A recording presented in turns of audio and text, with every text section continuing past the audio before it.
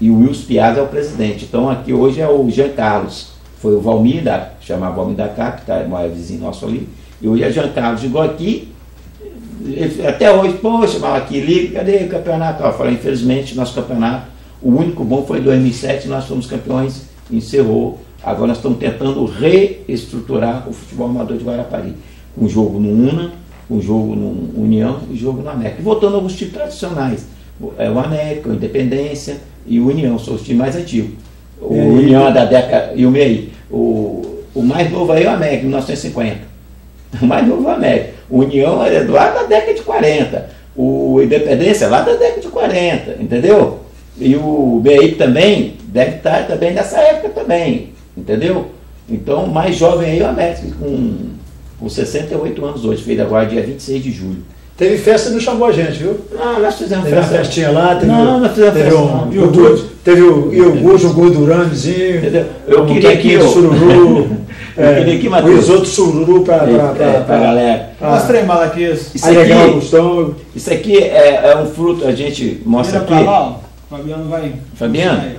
Isso aqui é, um- é um, é um título de utilidade pública estadual, entendeu? Concedido às, às entidades que prestam assistência social registrada. Isso aqui, eles pesquisam tudo, não dão um título assim. Então foi um projeto do, do então deputado estadual, que hoje é o nosso prefeito, Edson Magalhães, da qual eu agradeço, tá certo?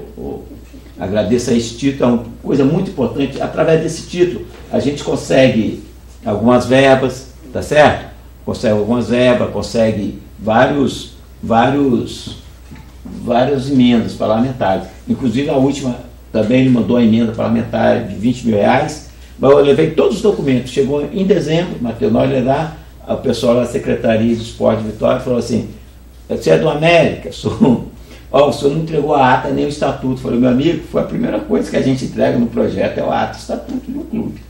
Vocês aí, ah, então não dá mais tempo, infelizmente você vai perder o projeto. Eu Falei, tá certo. Inclusive o, o, o prefeito agora, ele teve nosso campo, ele achou que eu tinha recebido essa verba. Eu falei, não, infelizmente aconteceu isso. E eu tinha passado para a assessoria, mas, mas então, infelizmente, houve má vontade lá, não do nosso deputado, hoje prefeito. Ele fez tudo. Ele fez a parte dele, fez o projeto. Então, aqui no Espírito Santo, a gente tem que ver que o esporte é o carro-chefe de, um, de formação de um cidadão. Nos Estados Unidos, uma criança, ele começa com esporte. Os maiores eh, campeões lá dos Estados Unidos, da Alemanha, da Inglaterra, saem das escolas públicas e das universidades. Todos os atletas, você pode ver, eh, pertencem às universidades, tal, universidade, tal, não sei se vocês aí. Então, sai da, desde a base, aptidão para vôlei, para basquete, para atletismo, para natação, já sai. Aqui não. Aqui a gente esse talento. Nós temos aqui, eu esqueci agora, a Ana Paula, né? Ana Paula. Ana Paula. Ribeiro, Ana Paula Ribeiro. Ela teve que fazer o quê? Ir para Vitória, para Vitória. conseguir. É, porque aqui na época não conseguiu, a prefeitura não apoiou, né? Entendeu como é que é? Então a gente fica triste. Então, é, governantes, vereadores, vamos olhar o esporte como formação de caráter Cidadãos. de cidadãos, entendeu? De caráter, porque no esporte você aprende a, a ser um homem, ou ser um cidadão ou uma mulher de verdade. Porque no esporte você aprende a ganhar e a vencer.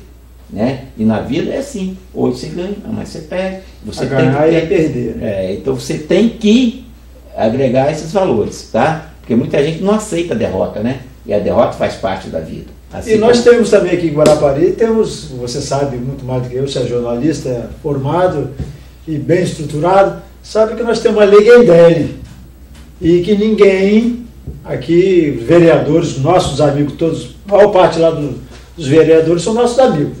E não futuca, futuca lá com o prefeito para ver essa, essa lei Gaidelli, aonde vai parar esse dinheiro, porque a gente não sabe aonde que vai parar, porque para os clubes não vão.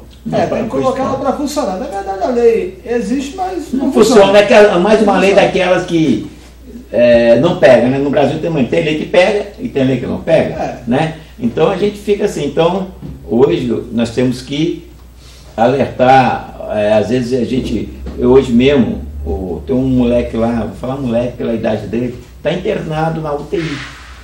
grave, está saindo agora, porque ele fazia prato, ele não bola, jogava um pouquinho lá, ia lá pouco, depois de 15 anos se desviou, nós internamos, o pai dele fez de tudo, internou em, em, lá em Piuma, ele aprendeu uma profissão de padeiro, veio, com três meses entrou de novo, porque não teve apoio aqui, coitado, com a mente fraca, foi até um acidente que a polícia teve, atropelou ele, que estava roubando esse acidente, vocês viram, tá lá.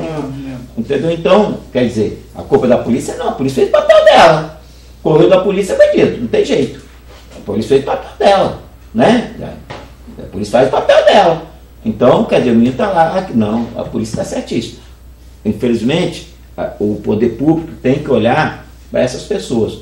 Eu, quando eu estudei no Polivalente, eu não tinha vontade de vir embora, não de ficar no polivalente, porque nós tínhamos 1.500 bolas, na época dita ditadura, que não foi, regime militar. Nós tínhamos 1.500 bolas, nós tínhamos é, educação para o lá, que era a gente aprender a cozinhar. Eu aprendi lá, aprendi fazer comida. Não fiz peças não. Aprendi quando eu tinha 16 anos polivalente. Costurar, fazer bainha, pregar botão. Mas certo, é mecânica, né? mecânico, aprendi no polivalente, adorei mecânica. Larguei meu curso de direito, larguei meu curso técnico de contabilidade que eu trabalhava para ver mecânica. Eu adoro mecânica, gosto de fazer mecânica.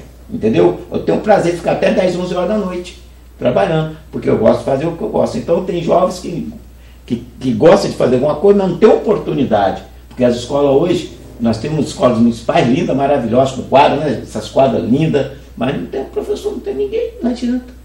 Né? Nós temos que ter é, base nas escolas. As escolas hoje têm que ensinar esporte. Porque muitas crianças vai para o colégio e perde a motivação. Por quê?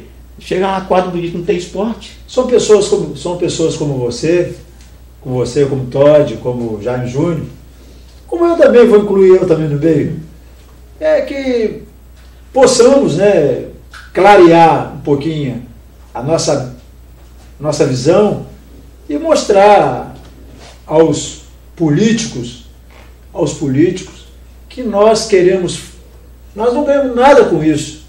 Nós queremos é ajudar a progredir o esporte municipal, estadual, seja de qual forma for, categoria amadora, profissional, mirim. É, então nós temos que ter feminino, nós temos que ter essa base em Guarapari, porque isso aí resgata muito a cidadania. Show de bola. Matheus, nosso diretor já fez o sinal. Vamos encerrar o nosso segundo bloco. O Jaime Júnior ficou meio só ouvindo aqui, né, junto comigo desse Não, mas é, mas é, mas são assuntos assim muito bons e explicativos, né? Então está aí só na, na observação. Mas no terceiro bloco, o Jaime Júlio estará ativo aqui, que nós vamos falar como foi a Copa Futsal Reginaldo Dias, afinal, vamos chamar o Todd para cá que vai participar com a gente, agradecendo ao Malaquias que se disponibilizou e veio aqui rolar essa bola com a gente. Nós vamos fazer um rápido intervalo, em instantes a gente volta.